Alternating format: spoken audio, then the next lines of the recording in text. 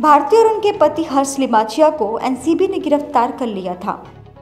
इसके बाद दोनों को मुंबई के किला कोर्ट ड्रग्स केस में न्यायिक हिरासत में रखने का फैसला सुनाया गया।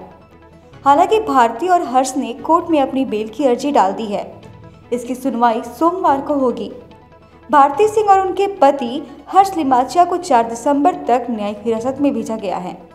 भारती सिंह को कल्याण जेल में शिफ्ट किया जाएगा। वहीं हर्ष को टलोजा जेल में भेजा जाएगा।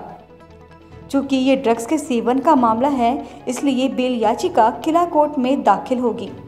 अब दोनों की अर्जी पर सुनवाई सोमवार को होगी, जिसके बाद ये पता चलेगा कि भारती सिंह को आगे राहत मिलेगी या नहीं। भारती सिंह के ड्रग्स केस में फंसने के बाद कॉमेडियन को लेकर इंडस्ट्री में बातें हो रही हैं। Bureau report, IPN.